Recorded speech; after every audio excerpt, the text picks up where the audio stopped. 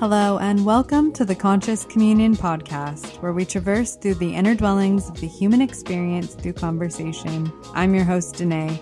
Join me as we explore the interconnection of creativity and community. Hello, and welcome to a long awaited episode of the Conscious Communion. It has been a hot minute. There's been so much going on in my own personal world amidst all of the other chaos that our collective, our world, our earth is experiencing. And there's so much to hold. And with the recognition of all that I've been holding, I felt that it would be best to honor my own rhythms. And in honoring my own rhythms, I also realize what growth that has shown from my behalf to not force anything that doesn't feel resonant for the time. And it was so interesting because after having taken space just to create spaciousness for myself, life happened. Hardship happened. A family crisis was brought to the surface and brought into my field of understanding of uh, this is going to be an initiation of heart being expanded into new levels of what is possible. And while I do not have the authorization or the blessing to share the intricacies of actually what's taking place now, I have gone through quite a whirlwind the past month and a half. I initially went home and I went home to be with my family. And that felt like a beautiful ushering into a release of what previously had felt very uncomfortable. And everything went well. It was a beautiful visit.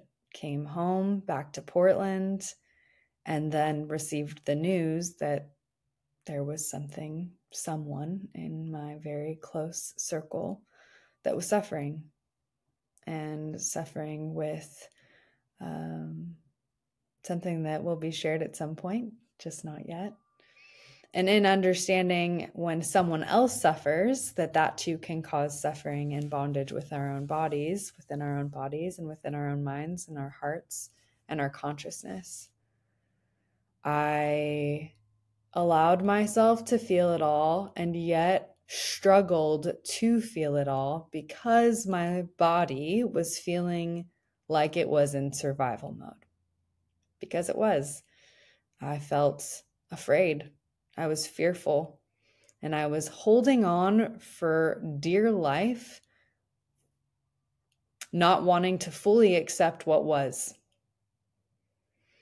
And I'm here having this first episode back being one that invites you into where I am, into my heart, and also inviting us all to be witness to what we are experiencing in our own lives, our own inner worlds.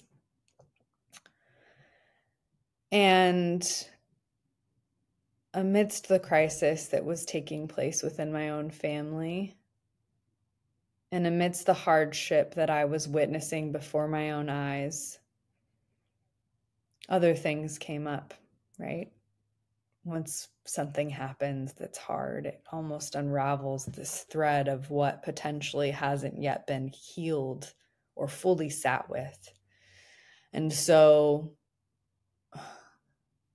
this invitation for me with this thing that has happened and been brought into our lives to be witness to gave me an opportunity to see myself and know that there was so much that I was grasping onto dear life with which was not enabling me to feel free and safe within my own experience. And I think amidst my own inner world and what I'm going through. Our world is experiencing so much turmoil, so much heartache, so much grief. We can all feel it. And my prayer is that we may honor it. It's really fucking hard to sit with what feels uncomfortable. And yet, the only way out is through sitting with ourselves, recognizing what's in front of us, not negating what feels hard, challenging, crunchy, but inviting it with open arms so that we may feel it all, trust its purpose, and not become attached to it when I first heard the family news, my initial instinct was really handling it with grace. And then I went through these motions and moves of then feeling like a victim. Why me? Why is this happening to me? Why not me? It's not directly happening to me but it's someone that's so very close to me. And to witness that is hard. You want to control, you want to fix. What does it look like to let go?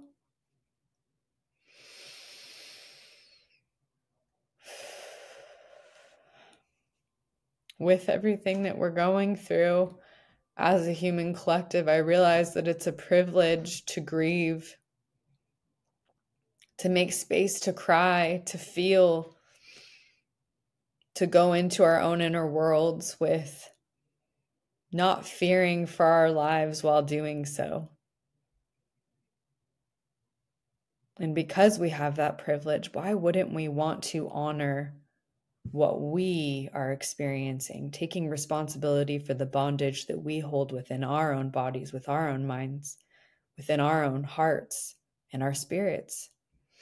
Ram Dass has a quote and it says, There's only one of us, one consciousness manifesting into different forms. And I believe this to be true. I believe that we are all so deeply interwoven into this one consciousness. And so, if we have the spaciousness to feel safe in our own experience, if we can create that safety for ourselves to take responsibility, to detach ourselves from what is holding us in captivity then may we, may we initiate ourselves into that beautiful ushering into setting ourselves free so that we can create more spaciousness for the collective consciousness. Easier said than done, of course, of course. And also just doing that next thing, just taking that one next step. With all that's going on, Yes, do what you can to aid and support, to be a friend to those in need.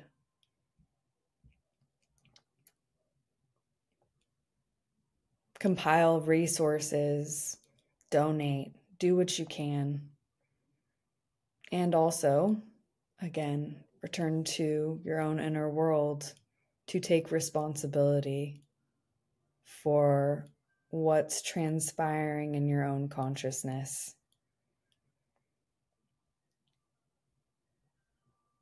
There is such a beautiful opportunity for us all to experience community in new ways. And through this experience that I'm going through in my own personal life, I have been asked to be invited into this process of receiving, which can be really hard and uncomfortable for many of us.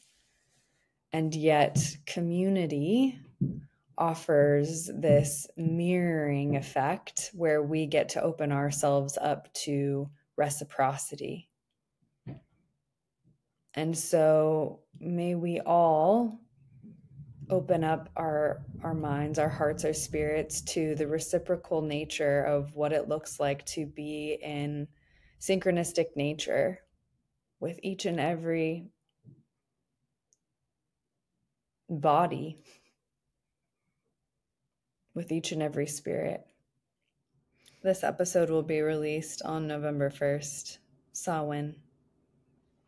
And with that with the celebration of now transitioning into the darker parts of the year, may we also initiate ourselves into what it looks like to delve into our layers of depth, loving ourselves with softer edges, expanding what has felt tightly bound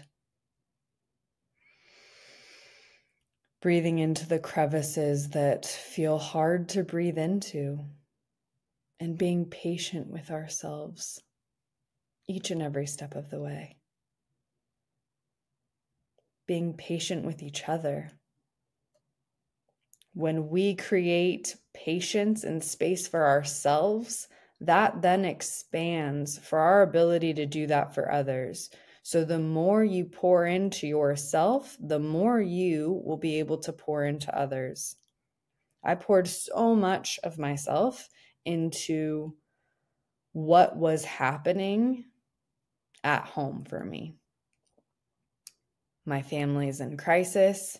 I'm there. I'm doing what I can. And did I respond favorably each and every time? No, there was a couple times where I lost my shit and I wasn't proud of myself.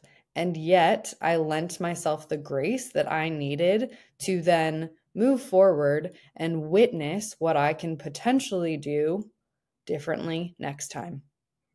Taking it into my frame of reference, acknowledging it, forgiving myself, and accepting it, not wishing it away, something that I've been leaning into myself is really coming into the presence of now and what that actually looks like.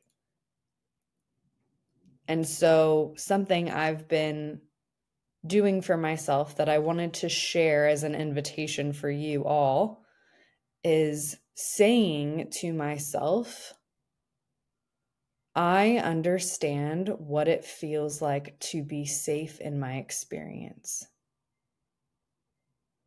And even when there's been moments, because I have been in fight or flight survival mode, fearing for what's to come, that then gives me the ability to turn something new online that, regardless of what happens, I'm still safe to regulate my own nervous system. Granted, again, this is privilege. This is privilege. Not everyone has this. And because I do, I am going to do my part to play the role that I can to do what I can. I have to be honest, when the war first started, I was just coming into this knowing of what was going on with my family. And I did not have the spaciousness to invite any more in because, again, I was in full on survival mode. Grasping on so tightly, kicking and screaming at points in time, and also just literally not having space for anything else. And so now that I've taken the time to really sit with the feelings of rage, of fear, of sadness, of deep, deep grief, I now have more space to hold more. And so I will. I will. and I will take it on because I know that I am a cyclical being. I'm a part of nature. And that with synchronistic nature that is here for us all to experience, this too shall pass. And so, knowing that what is here for me now is here for a reason, I accept it with open arms, even though it's hard. And every time I soften an edge, I can make space for a little bit more. One of the things I've been doing for myself that has been so supportive for my well being I've been coming to my altar each and every morning. It's the first thing I've been doing. I've gone through rhythms of doing this as a practice, of course. And this time it looks a bit different for me because I'm not necessarily going to my journal, maybe as I have in the past. It's not the first thing I'm picking up. I'm picking up a rosary. And this is so interesting to me because I have such such an idea in my mind of how I want to resist any dogmatic approach to religion. And while I don't necessarily believe in the dogmatic belief of this thing, it was given to me when my family was in crisis, when I was in the hospital by a Eucharistic minister. And rather than using it to actually say the rosary, I've been using it as a form to ground. It's made of actual stone, it's made of jasper and tourmaline. Tourmaline is actually used to ground. And so the first thing I do in the morning is I get to my altar, I pick up my rosary, and I say something that I'm grateful for. Each bead for me in this moment, I'm using this as a tool to ground myself in gratitude for what is. I am using these beads to come to the altar of my heart and what is, to acknowledge that I have the privilege to pray. I have the privilege to be here and to sit in holy reverence to what is. That's huge and you hear it so often, right? Gratitude is a practice. Gratitude is a practice. It's encouraged in every which way. You hear it all the time. And it's real. It generates this ability to receive and to then give back. Another thing I've been doing for myself is making sure that I intentionally am carving out time for myself to be outside it's a non negotiable these days. I have to be with the earth to be reminded of these cycles that we're all a part of.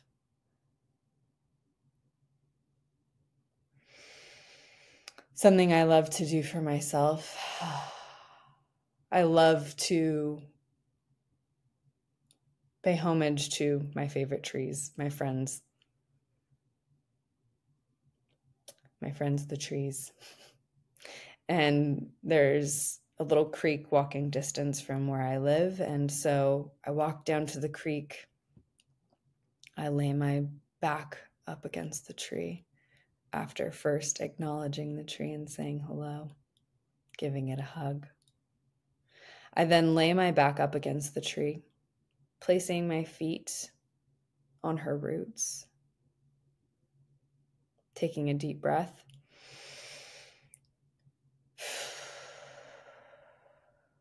I energetically imagine what it would look like for her to take away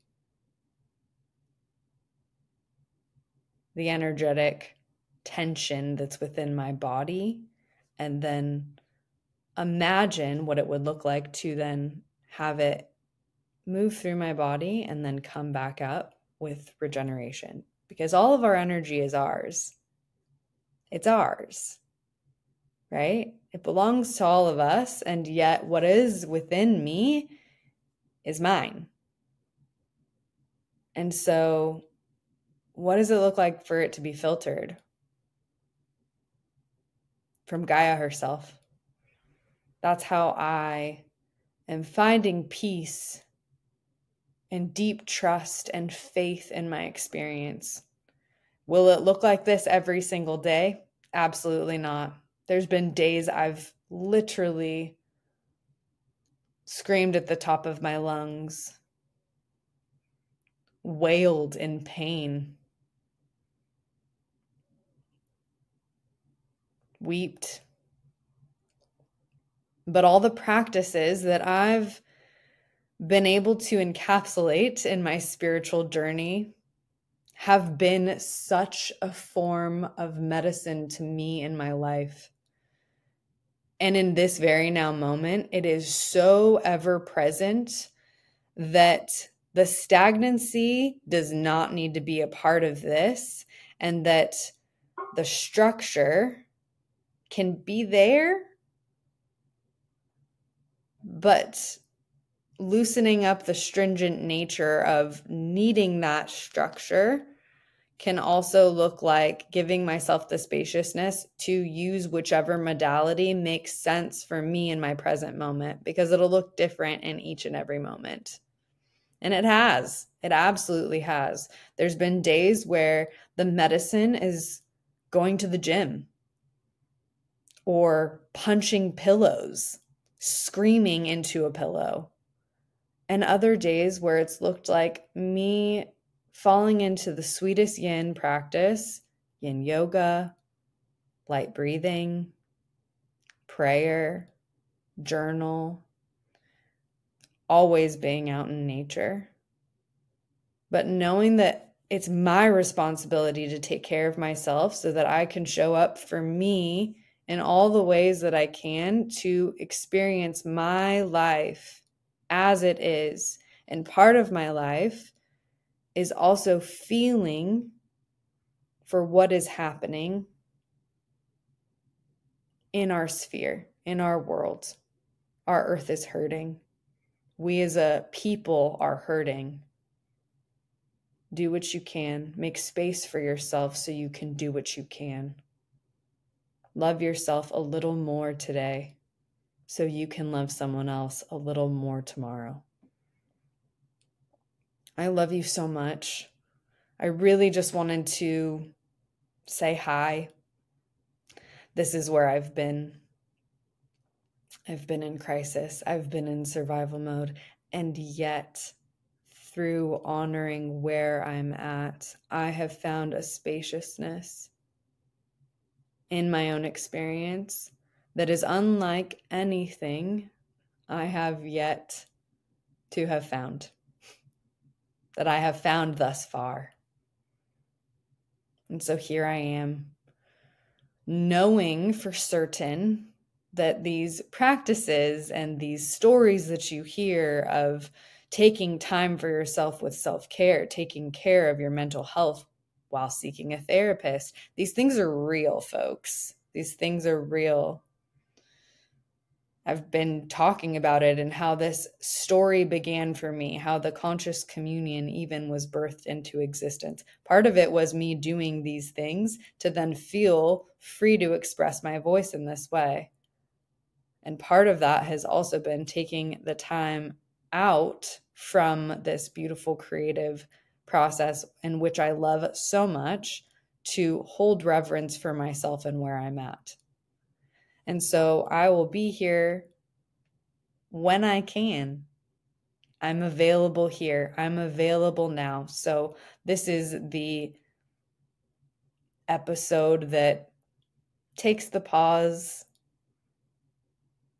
and moves it back forward into presence, into being. I have some episodes that I recorded almost two months ago that I will be sharing and starting up again next week.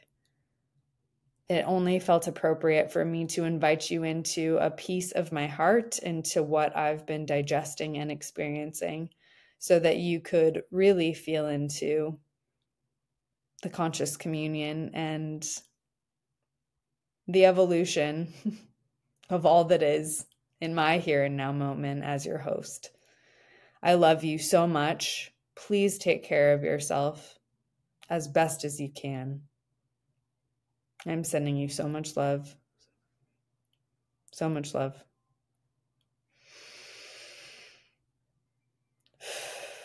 Would love to take a couple breaths with you to exit out of this space. Breathing in through your nose and exhaling however feels good for you. Two more times, just like that.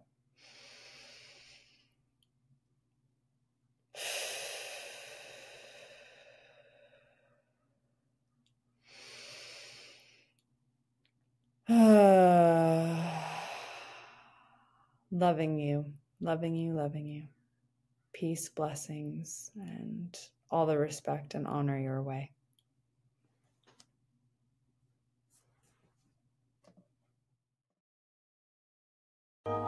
Hey there, it's Danae again. Just wanted to say thank you for sharing your time and energy with me. If this podcast resonates, please like, subscribe, follow, and share if you're willing. Reviews help too. So if you're feeling the vibe, please leave a review where you can. Sending all the love. Peace.